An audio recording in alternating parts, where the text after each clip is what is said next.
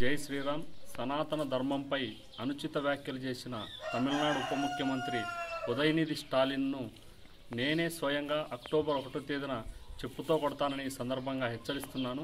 ఉదయనిధిని చెప్పుతో కొట్టడం వల్ల తీవ్ర ఆవేదనలో ఉన్నటువంటి హిందూ సమాజానికి కాస్తంత ఉపశమనం కలుగుతుంది. అందుకు నేనే స్వయంగా వెళ్తున్నాను.